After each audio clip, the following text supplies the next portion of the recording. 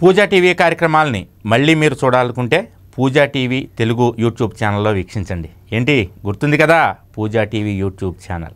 మన లక్ష్మీ వైభవంలో అశ్విన్యాది ఇరవై ఏడు నక్షత్రాలలోనూ ఒక నక్షత్రమైనటువంటి మూలా నక్షత్రం గురించి చెప్పుకుంటూ మూలా నక్షత్రానికి అధిష్టాన దేవత కేతువు అని కేతువుకి అధిష్టాన దేవత గణపతి అనేటటువంటి విశేషం గురించి చెప్పుకుంటూ గణపతి యొక్క అనుగ్రహాన్ని ఎలా పొందాలి? మూలా నక్షత్రం వాళ్ళు ఏ విధంగా గణపతిని ఆరాధిస్తే గణపతి యొక్క అనుగ్రహం కలుగుతుంది? మూలా నక్షత్రమే కాకుండా మిగిలినటువంటి ఇరవై ఆరు నక్షత్రాల వాళ్ళు కూడా గణపతిని ఏ విధంగా ఆరాధిస్తే మంచి ఫలితం కలుగుతుంది? కేతువు యొక్క ప్రభావం ఈ ఇరవై ఏడు నక్షత్రాల మీద తగ్గుతుంది అనేటటువంటి విశేషాల గురించి చెప్పుకుంటూ మనం ఈ గణపతి యొక్క వినాయక చవితి కథ గురించి చెప్పుకుంటూ అసలు గణపతి ఉద్భవం ఎలా జరిగిందో చెప్పుకుంటూ ఉన్నాం. గజాసురుడు అనేటటువంటి రాక్షసుడు శివుడి కోసం ఘోరమైనటువంటి తపస్సు చేయడము తద్వారా శివుడు గజాసురుడికి వరాన్నిచ్చి ఆయన యొక్క ఉదరమందు నివసించడము ఈ విషయం తెలుసుకున్నటువంటి పార్వతీదేవి తన అన్నగారైనటువంటి విష్ణుమూర్తి దగ్గరికి వెళ్ళి మొరపట్టుకోవడము విష్ణుమూర్తి తాను గంగిరెద్దులాడించేవాడిగను బుడబొక్కలవాడిగను నందినేమో గంగిరెద్దుగాను ప్రమథగణాలనేమో వివిధ రకాల వాయిద్యాలు వాయించేటటువంటి వాళ్ళగాను మార్చుకుని గజాసురుడి యొక్క రాజ్యానికి వెళ్ళి తమ యొక్క ఆటపాటల చేత గజాసురుడిని రంజింపచేసి వరముగా ఆయన కడుపులో ఉదరములో ఉన్నటువంటి ఈ పరమేశ్వరుణ్ణి వరంగా కోరుకున్నారని తద్వారా పరమేశ్వరుడు బయటకు వచ్చిన తర్వాత గజాసురుడు మరణించాడని గజాసురుడు మరణించడానికి ముందు శివుడిని కోరుకున్నటువంటి కోరిక ప్రకారము పరమేశ్వరుడు ఆ గజాసురుడి యొక్క శరీరం మీద ఉన్నటువంటి చర్మాన్ని అంటే కరి చర్మాన్ని ఏనుగు చర్మాన్ని రక్తమోడుతూ ఉండగా ఆ యొక్క చర్మాన్ని తాను బట్టగా ధరించాడని మనం చెప్పుకున్నాం. తరువాత అక్కడి నుంచి బయలుదేరినటువంటి పరమేశ్వరుడు కైలాసానికి బయలుదేరి వస్తూ ఉండగా భర్త వస్తూ ఉన్నటువంటి విషయాన్ని తెలుసుకున్నటువంటి పార్వతీదేవి అభ్యంగర స్నానము చేయదలిచి ఒళ్ళంతా పసుపు రాసుకుని ఆ పసుపు నలిచి ఒక ముద్దను చేసి దాన్ని బొమ్మగా చేసి ప్రాణం పోసి ఈ పరమేశ్వరుడు వస్తూ ఉన్నటువంటి సమయంలో స్నానం చేయడానికి వెళ్ళి ఆ యొక్క బాలుడిని గుమ్మం దగ్గర కాపలాగా ఉండమని చెప్పినట్లుగా మనం చెప్పుకున్నాం. ఆ పిల్లవాడు పరమేశ్వరుణ్ణి గమనించక పరమేశ్వరుడు ఎవరో తెలియకపోవడం వల్ల పరమేశ్వరుడితో యుద్ధానికి దిగడం వల్ల ఆ పరమేశ్వరుడి యొక్క త్రిశూలం చేత ఆ పిల్లవాడి యొక్క తల ఎగిరిపోయింది అని చెప్పుకున్నాం. అదేవిధంగా అదే సమయానికి అక్కడికి వచ్చినటువంటి పార్వతీదేవి ఆ పిల్లవాడి మొండాన్ని చూసి దుఃఖించగా పరమేశ్వరుడు పార్వతి నీవు ఏమీ చింతించనవసరం లేదు. ఒక గణాధిపతి ఒక విఘ్నాధిపతి యొక్క లోకాలన్నిటికీ ముల్లోకములకు కావాలి కాబట్టి ఇటువంటి క్రియ సంభవించింది. నీవేమీ కంగారు పడకనే ప్రమథగణాలని పిలిచి ఉత్తరం వైపు తలపెట్టుకుని నిద్రపోతూ ఉన్నటువంటి ఏ జంతువు తలనైనా నరికి తీసుకురండి అని చెప్పి చెప్పేటప్పటికీ ప్రమథగణాలు బయలుదేరి వెళ్ళినటువంటి కథ గత భాగంలో మనం చెప్పుకున్నాం. ఈ ప్రమథగణాలని కూడా ముల్లోకాలు గాలించాయి. ఉత్తరం వైపు తలపెట్టుకుని పడుకుని ఉన్నటువంటి ఏ జీవి ఈ ప్రమథగణాలకి కనపడలేదు. చూడండి ఏ జీవికైనా తెలుసు అన్ని జీవులకి తెలుసు ఉత్తరం వైపు తలపెట్టుకుని పడుకోకూడదు అని మనకి మాత్రమే తెలియదు ఎటు దిక్కు తలపెట్టుకుంటున్నామో మనకే తెలియకుండా పోతుందన్నమాట. అందువల్ల తద్వారా పెట్టకూడనటువంటి దిక్కుకి తలపెట్టుకుని పడి ఉండడం వల్ల మనకి జరగవలసినటువంటి మంచి జరగకుండా ఆలస్యమైపోతుంది. సరే అది అక్కడితో వదిలేద్దాంలేండి. అయితే ప్రమదగణాలు వెతికి వెతికి విసికి వేసారిన తర్వాత ఏ జంతువు కూడా ఉత్తర తలాపిగా నిద్ర చేయకపోవడం వల్ల అన్ని లోకాలు తిరగగా చివరికి గజాసురుడి యొక్క రాజ్యంలో గజాసురుడి యొక్క కళేబరము అంటే ఏనుగు యొక్క కళేబరం ఉత్తరం వైపు తలపెట్టి పడి ఉండడం చేత ఆ తలనే నరికి తీసుకొచ్చారు ఈ ప్రమదగణాలు. పరమేశ్వరుణ్ణి గజాసుడు ఒక కోరిక అడిగాడు నా శరీరం మీద ఉన్నటువంటి చర్మాన్ని నీవు బట్టగా ధరించాలి. అదేవిధంగా నా యొక్క శిరస్సు త్రైలోక్య పూజితము కావాలి అని. శివుడు వరం ఇచ్చాడు అంతకుముందే అందువల్ల గజాసురుడి యొక్క శిరస్సు వచ్చి ఈ పిల్లవాడి యొక్క మొండానికి అతికించి మరలా జీవం పోయడం చేత ఆ పిల్లవాడు గజముఖుడు అయ్యాడు. ఆ రోజు నుంచి గజముఖుడు గజముఖుడు అని పిలవడం ప్రారంభించారు. మొదట గణపతి కాదు విఘ్నేశ్వరుడు కాదు అతని పేరు. గజముఖుడు. మీకు నరరూప గణపతి కూడా మీకు చూడొచ్చు. మీరు వీలైతే కనుక ఎప్పుడన్నా ఉచ్చిపిళ్ళయ్యార్ గణపతి అని అంటారు. మీరు శ్రీరంగం తిరుచి అక్కడికి వెళ్ళారంటే కనుక రాక్ ఫోర్ట్ వినాయకుడు అంటారు. కింద నుంచి పైకి ఎక్కుతూ ఉంటే కొండెక్కుతూ ఉంటే పైకి వెళ్ళిన తర్వాత గోడ మీద ఉన్నటువంటి ఒక చిత్రంలో చెక్కినటువంటి ఒక శిల్పంలో పార్వతీ పరమేశ్వరులు ఒకవైపు సుబ్రహ్మణ్య స్వామి ఒకవైపు నరరూప గణపతి మీకు కనిపిస్తారు. కాకపోతే మీకు తెలియదు. ఎందుకంటే గణపతి అంటే మనకు తెలిసి గజముఖంతో ఉన్నటువంటి వాడు మాత్రమే గణపతి ఏనుగు తలతో ఉన్నటువంటి వాడు మాత్రమే గణపతి మనకి. కానీ ఈ పిల్లవాడు అక్కడ నరరూపంగా ఉండడం చేత మనం గుర్తుపట్టలేము మనం చిత్రం చూసినా గణపతి అని అనుకోము. మనం ఎప్పుడన్నా ఓహో గణపతి నరరూపంగా ఉన్నప్పుడు ఇలా ఉండేవాడేమో అని మనం గుర్తుపట్టాలంతే అంతకుమించి ఏం లేదు. ఆ విధంగా నరరూప గణపతి కాస్త గజముఖుడు అయ్యాడు. అప్పటి నుంచే గజముఖ గజముఖ గజముఖ అని పిలుస్తూ ఉండేవారు. రోజులు గడుస్తూ ఉన్నాయి. కొంతకాలానికి సుబ్రహ్మణ్య ఉద్భవం కూడా జరిగింది. సుబ్రహ్మణ్య స్వామి వారు జన్మించారు. ఇక్కడేమో గణపతి అక్కడేమో సుబ్రహ్మణ్య స్వామి ఇద్దరు కూడా అల్లారు ముద్దుగా పెరుగుతున్నారు ఒకచోట అన్నయ్య తమ్ముడు తమ్ముడు అన్నయ్య అని కూడా చాలా ప్రేమగా ఉండేవారు. ఒకానొక సమయంలో ఈ గజముఖుడు అనింద్యుడు అనేటటువంటి ఒక మూషికాన్ని ఒక ఎలకని తన యొక్క వాహనంగా చేసుకున్నాడు. అదేవిధంగా ఈ సుబ్రహ్మణ్య స్వామి చిత్రవర్ణుడు అనేటటువంటి ఒక నెమలిని లేదా చిత్రబరిహిణుడు అనేటటువంటి ఒక నెమలిని తన యొక్క వాహనంగా చేసుకున్నాడు. ఇద్దరు ఎదుగుతూ ఉన్నారు. ఎందుకంటే వాహనం ఉండాలి కదా. మనం ఏ విధంగా అయితే కార్లు మోటార్ సైకిళ్ళు కొనుక్కుంటామో అదేవిధంగా వీళ్ళకు కూడా వాహనాలు వద్దా? ఎక్కడికైనా వెళ్ళాలంటే ఉండాలి కదా. కానీ మీరు జాగ్రత్త జాగ్రత్తగా గమనిస్తే ఒక రహస్యం ఒకటి మీకు తెలుస్తుంది. ఎందుకంటే శివ కుటుంబంలో ఉన్నటువంటి వైరుధ్య జంతువులు స్నేహంగా ఉంటాయి అనేటటువంటి విషయం మీకు తెలుస్తుంది. ఇది ఎంత గొప్ప రహస్యమయ్యా అంటే వాళ్ళకి వాహనాలు ఎందుకంటే ఒక్కొక్కరికి ఒక్క వాహనం అనక్కలేదు ఇద్దరు ఉన్నటువంటి ఇంట్లోనే రెండు కార్లు రెండు మోటార్ సైకిళ్ళు ఉన్నప్పుడు ఒక్కొక్కరికి ఒక్కో వాహనం ఉంటే తప్పే ఉంది. కానీ శివ కుటుంబంలో ఉన్నటువంటి వాహనాల యొక్క రహస్యం చాలా గొప్ప రహస్యం. ఈ రహస్యాన్ని కనుక మనము జాగ్రత్తగా అవగతం చేసుకున్నామంటే కనుక శివతత్వం అనేటటువంటిది మీకు బోధపడుతుంది. శివుడి వాహనం ఏమిటి? నందీశ్వరుడు అంటే ఎద్దు కదా? పార్వతీదేవి వాహనం ఏమిటి? సింహ వాహనము లేదా వ్యాఘ్ర వాహనం. ఏనుగుని సింహం కానీ పులి కానీ తినేస్తుందా తినేదా? రెండు విరోధ జంతువులేనా? అలా విడిచిపెట్టండి. గణపతి వాహనం ఏమిటి? ఎలుక. శివుడి మెడలో ఏముంటాయి? ఆభరణం పాము ఉంటుంది. ఎలుకని పాము తినేస్తుందా? తినేదా? శివుడి మెడలో ఏముంటుంది? పాము ఉంటుంది. సుబ్రహ్మణ్య స్వామి వారి వాహనం ఏమిటి? నెమలి. పాముకి నెమలికి అసలు పడుతుందా? పాము కనబడిందంటే నెమలి చీల్చి చెండాడే చంపేస్తుందని. కదా? చూడండి ఒక్కొక్కళ్ళకి ఇంకొకళ్ళకి యొక్క వాహనానికి వైరుధ్యము విరోధభావం ఉన్నప్పటికీ కూడా అన్నీ కలిసి ఒకచోటే స్నేహముగా ఉండేటటువంటి ప్రదేశమే శివ కుటుంబము ఈ ఒక్క విషయాన్ని కనుక మనం అర్థం చేసుకున్నట్లయితే ఇంకా మీకు తత్వం అనేటటువంటిది అవసరం లేదు. మీరు వైరాగ్యం అక్కర్లేదు మీకు. ఇది ఇదే తత్వం ఇదే వైరాగ్యం. కాబట్టి శివ కుటుంబాన్ని అర్థం చేసుకోండి. ఒక్కొక్కళ్ళు ఒక్కో రకంగా ఉంటారని చెప్పి అనుకోకండి. శివుడు ఎందుకు ధరిస్తాడు పావుల్ని ఎలక వాహనం ఈయనకి ఎందుకు ఉంటుంది? ఏమనుకోక్కర్లేదు. ఎందుకంటే ఒక్కొక్క జంతువుకి ఇంకొక జంతువుకి మామూలుగా విరోధం కానీ అన్నీ కలిసి ఒకటే పార్కింగ్ ప్లేస్లో స్నేహంగా ఉండేటువంటి ప్రదేశం ఏమిటయ్యా అంటే శివ కుటుంబమే.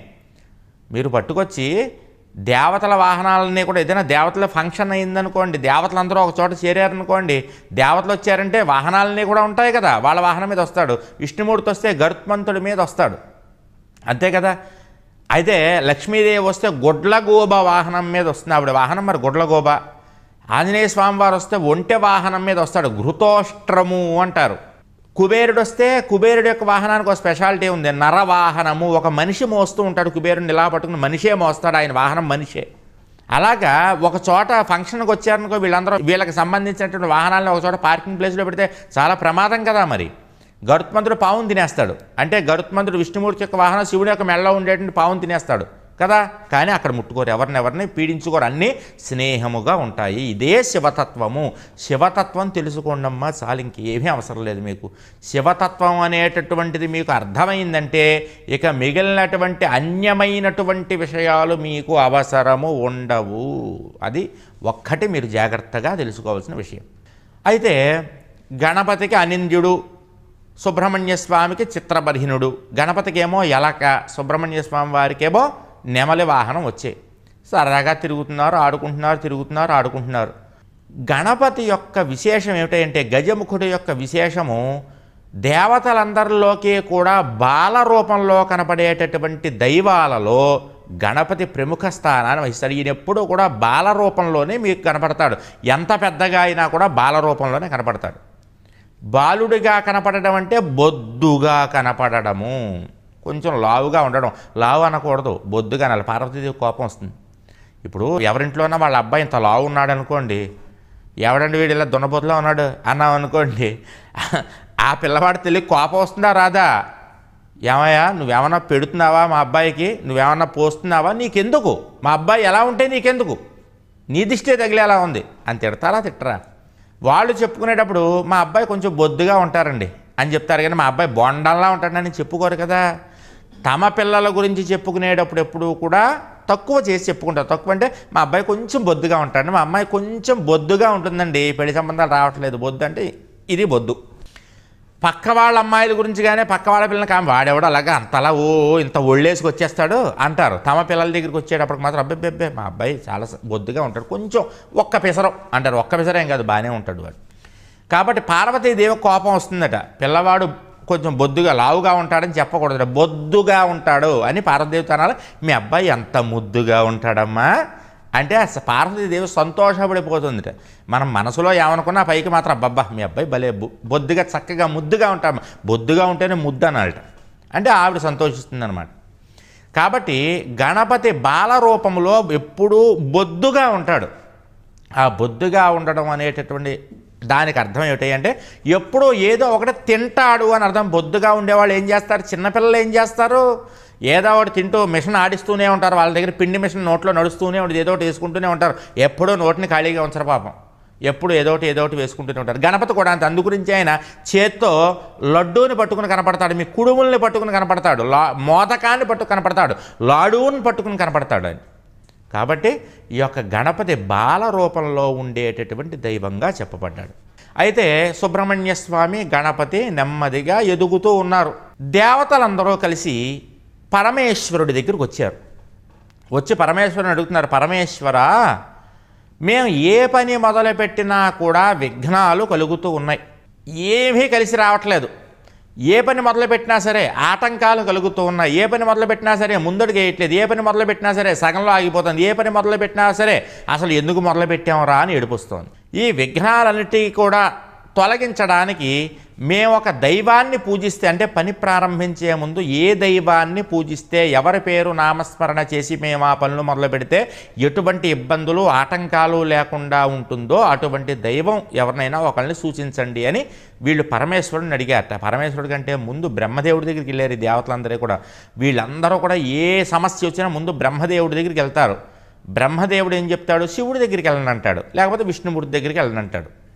అలాగా బ్రహ్మదేవుడు శివుడి దగ్గరికి వెళ్ళండి అంటే వీళ్ళందరూ కలిసి శివుడి దగ్గరికి వచ్చారు. వచ్చి అడిగారు మాకొక గణాలకి అధిపతిగా గణాధిపతి విఘ్నాలకు అధిపతిగా విఘ్నాధిపతి కావాలి అన్నారు. అనేటప్పుడు ఈ శివుడు ఆలోచన చేశాడు సరే మీరు వెళ్ళరండి నేను త్వరలోనే ఒక గణాధిపతిని విఘ్నాధిపతిని నేను ప్రకటిస్తాను అన్నాడు. దేవతలందరూ వెళ్ళిపోయారు సంతోషించి. శివుడు పార్వతితో ఆలోచించడం మొదలుపెట్టాడు. పార్వతి ఇప్పుడు దేవతలందరికీ కూడా ఒక గణాధిపతి విఘ్నాధిపతి కావాలి. అందుకని మన ఇద్దరు పిల్లల్లో ఒకళ్ళకి మాత్రమే ఆధిపత్యం ఇవ్వాలి. ఎందుకంటే ఎవరైతే విఘ్నాధిపత్యం వహిస్తారో వాళ్ళే గణాధిపత్యం వహించాలి. అంతే తప్ప ఒకడిని విఘ్నాధిపతిగాను ఒకడిని గణాధిపతిగాను ఎప్పుడూ చేయకూడదు. ఒకటి దగ్గరే ఉండాలి ఈ రెండు పదవులు కూడా. కాబట్టి ఇద్దరు పిల్లల్లో ఎవరికి ఇద్దాము అనుకుంది. అనుకునేటప్పటికి సరే అని చెప్పేసి అని ఈ పార్వతీదేవి పిల్లలిద్దరిని పిలిచింది. గజముఖుణ్ణి సుబ్రహ్మణ్య స్వామిని పిలిచింది. పిలిచి చెప్పింది ఆయనలారా గణాధిపత్యము విఘ్నాధిపత్యము ఒక్కరికి మాత్రమే లభిస్తాయి. ఎవరికి లభిస్తాయి అంటే మీకిద్దరికీ నాన్నగారు ఒక పరీక్ష పెడతారు.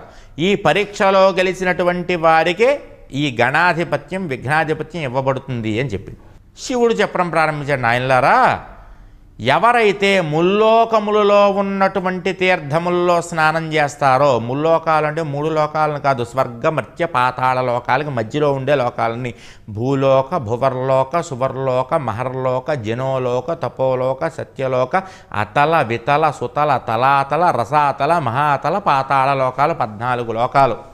ఈ పద్నాలుగు లోకాల్లో ఉన్నటువంటి జలములలో ఎవరైతే ముందుగా స్నానము చేసి వస్తారో తీర్థరాజములలో ఎవరైతే స్నానం చేసి వస్తారో ముల్లోకములలో ఉన్నటువంటి దేవాలయములన్నింటినీ కూడా ఎవరైతే ముందుగా దర్శనము చేసుకుని వస్తారో వారికి నేను గణాధిపత్యము విఘ్నాధిపత్యం ఇస్తాను అని చెప్పాడు.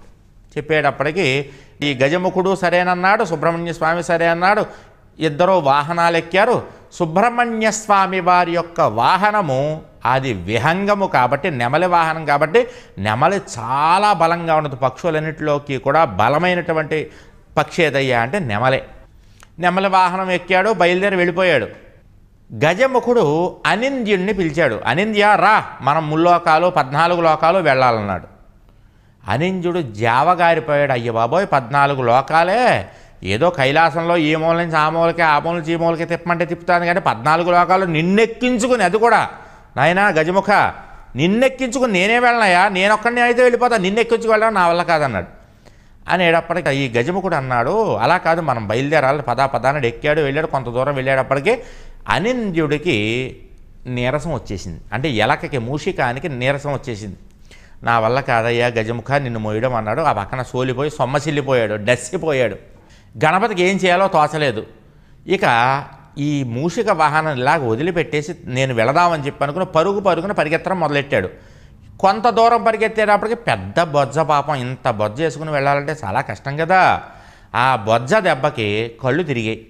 ఇంక ఏం చేయాలో తోచక ఓ చోట కూర్చున్నాడు. కూర్చుని దుఃఖిస్తూ ఉన్నటువంటి సమయంలో అప్పుడు పిలవని తలంపుగా తలవని తలంపుగా కాగల కార్యం గంధర్వులే తీరుస్తారన్నట్లుగా దేవరిషి బ్రహ్మరిషి మహర్షి అయినటువంటి నారద మహాముని ఆ దారిలో వెళ్తున్నారు. దారిలో వెళ్ళడం కదా ఆయన కావాలనే ఈ గజముఖుడికి కనపడాలని అక్కడికి వచ్చాడు. నారాయణ నారాయణ అంటూ వచ్చాడు. ఏనాయనా గజముఖ ఇలా నీరసంగా కూర్చున్నావు? ఒకటే గుర్తు ఎక్కడైనా మీరు పురాణం చదువుతున్నప్పుడు నారద మహర్షి అక్కడికి వచ్చారు అంటే ఏదో ఒక విశేషం లోక కళ్యాణం జరగబోతోంది. లోక కళ్యాణం జరిపించడానికే నారద మహర్షి అక్కడికి వస్తారు. మామూలుగా పని లేక ఎప్పుడూ రారు.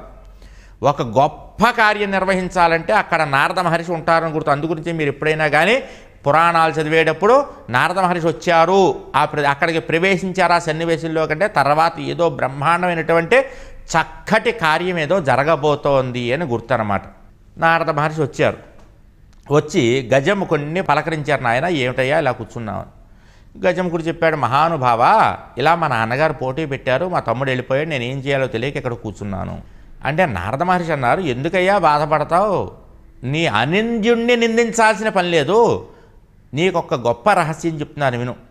ఈ ముల్లోకములలో ఉన్నటువంటి తీర్థరాజములలో స్నానము చేసినటువంటి ఫలితము కంటే ముల్లోకముల్లో ఉన్నటువంటి దేవాలయాల్లో స్నానం చేసినటువంటి ఫలితము కంటే ఆదౌ పూజ్యో గణాధిప మొట్టమొదటగా పూజించబడేటటువంటి వాడు గణపతి అనేటటువంటి పేరు నీకు రావాలంటే గణాధిపత్యము విఘ్నాధిపత్యము నీకు రావాలంటే జగత పితరౌ వందే పార్వతీ పరమేశ్వరౌ వాగర్ధ వివసంపృక్తౌ వాగర్ధ ప్రతిపత్తయే. జగత పితరౌ వందే పార్వతీ పరమేశ్వరౌ. వాక్కు అర్థము ఏ విధంగా అయితే ఒకదానిని ఒకటి విడిచిపెట్టి ఉండలేవో అదేవిధంగా పార్వతీ పరమేశ్వరులు కూడా అంతేనయ్యా. జగత్తంతటికే కూడా జగత పితరౌ తల్లి తండ్రులు పార్వతీ పరమేశ్వరులే. వాళ్ళెవరు? నీ తల్లిదండ్రులే కాబట్టి వాళ్ళని పూజించు. వాళ్ళకి ప్రదక్షిణ చెయ్యి నీ ఇష్టకామ్యార్థ సిద్ధి జరుగుతుంది జయం అని చెప్పి ఆయన బయలుదేరి వెళ్ళిపోయాడు. వెంటనే గజముఖుడు పరుగు పరుగున కైలాసానికి చేరుకున్నాడు. పార్వతీ పరమేశ్వరులు కూర్చుని ఉండగా గంగాజలాన్ని తీసుకువెళ్ళి పరమేశ్వరుడు యొక్క పాదాల మీద అర్పించాడు. కొన్ని పుష్పాలని తీసుకువచ్చి మనస్ఫూర్తిగా పార్వతీ పరమేశ్వరుల యొక్క పాదాల మీద విడిచిపెట్టాడు. నమస్కారము చేస్తూ మాతృదేవో భవ పితృదేవో భవ అంటూ ముమ్మారు ప్రదక్షిణ చేశాడు. ముమ్మారు అంటే మూడు సార్లు అని అర్థం. మూడు సార్లు ప్రదక్షిణ చేశాడు.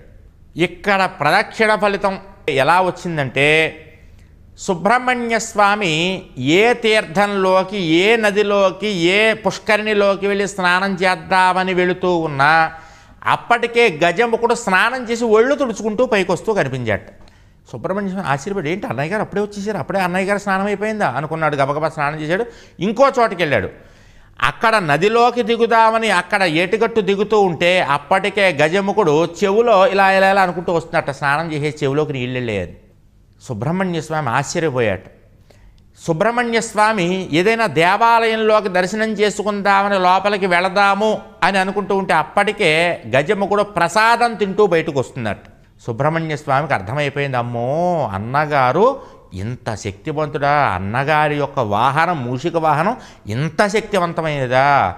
ఇక అన్నగారు ఇంత శక్తివంతమైన తర్వాత మనం ఆ పదవి కోసం పోటీ పడడం భావ్యం కాదు అనుకున్నాడు బయలుదేరి వెళ్ళాడు. పరమేశ్వరుడి దగ్గరికి వెళ్ళాడు తల్లిదండ్రులకు నమస్కారం చేశాడు. నాన్నగారు నాకంటే ముందే అన్నయ్య గారు నేను ఎక్కడికి వెళ్ళి ఆయన కనిపించేస్తున్నాడు నాకు పని పూర్తి చేసుకుని కాబట్టి అన్నగారు శక్తివంతుడు కాబట్టి ఈ విఘ్నాధిపత్యము గణాధిపత్యము అన్నగారికే ఇయ్యవలసింది అని కోరి నమస్కరించాడు. పరమేశ్వరుడు చిరునవ్వు నవ్వుతూ ఈ రోజు నుంచి ఈ గజముఖుడు విఘ్నాలకు అధిపతిగా విఘ్నేశ్వరుడిగాను. గణాలకు అధిపతిగా గణపతిగాను పిలువబడతాడు. కాబట్టి ఈ రోజు నుంచి ఎవరైతే ఈ గజముఖుడిని వినాయకుడిగా విఘ్నేశ్వరుడిగా గణేశ్వరుడిగా గణేశుడిగా గణపతిగా గణాధిపతిగా పూజిస్తారో వాళ్ళకి విఘ్నాలనేటటువంటివి ఉండవు నీలాపనిందలనేటటువంటివి ఉండవు అని వరాన్ని ఇచ్చాట ఆ రోజు నుంచే గజముఖుడు గణపతిగాను విఘ్నేశ్వరుడుగాను పిలవబడుతూ ఉన్నట్టు ఆ రోజు నుంచి గణపతిని దేవతలే కాకుండా యక్ష కిన్నెర కింపురుష మానవ గంధర్వ దైత్య దాన సుర అసుర విద్యాధర నాగజాతుల వాళ్ళందరూ కూడా పూజించడం మొదలుపెట్టారట. గణపతికి గణాధిపత్యము విఘ్నాధిపత్యము లభించినటువంటి రోజు భాద్రపద శుద్ధ చవితి కావడం వల్ల ఆ రోజు నుంచి ఈ గణపతిని వినాయక చవితి రోజున వినాయకుడిగా గణపతిగా గణేశుడిగా లంబోదరుడిగా పూజించడం మొదలైంది. ఆ వినాయక చవితి యొక్క విశేషం అనేటటువంటిది ఇదన్నమాట. అందుకని ఈ కథని ఎవరైతే విన్నారో మూలా నక్షత్రం వాళ్ళకే కాకుండా మిగిలినటువంటి నక్షత్రాల వాళ్ళందరికీ కూడా చక్కనైనటువంటి ఫలితం కలుగుతుంది. సకల ఆటంకాలు తొలగిపోతాయి. చిర్రావురు గారు కథ అయిపోయింది అనుకుంటున్నారేమో ఇంకా అయిపోలేదు. తరువాయ భాగంలో తర్వాత విశేషాలు ఈ వినాయకుడి గురించి వినాయక చవితి కథల విశేషాలు తప్పనిసరిగా చెప్పుకుందాం. ప్రస్తుతానికి జయం.